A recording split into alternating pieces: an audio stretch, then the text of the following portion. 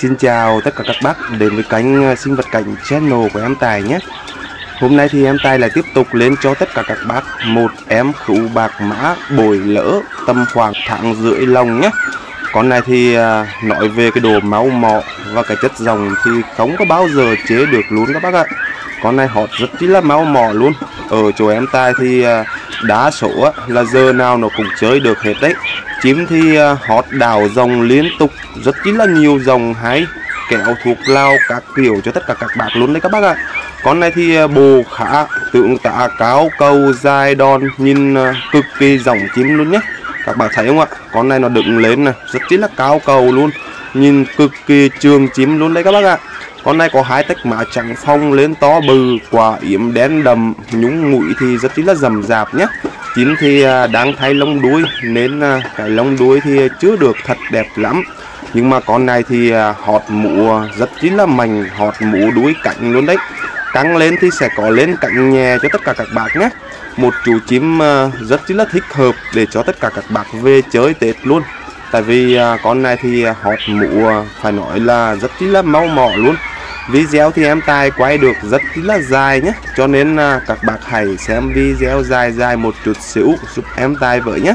Con này thì bồ khá và không có tật lỗi gì hết đâu.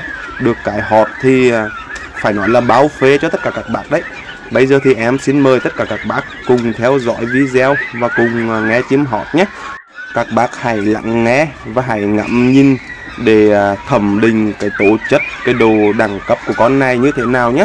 Em xin mời tất cả các bác cùng theo dõi video và cùng nghe chim hót. Con này em tài giao lưu với tất cả các bác. Cái phí là hai triệu nhé. Bác nào ứng con này thì à, hãy tuyển ngay về với đội của mình nhé. Một chú chim phải nói là rất chính là đẳng cấp luôn các bác ạ.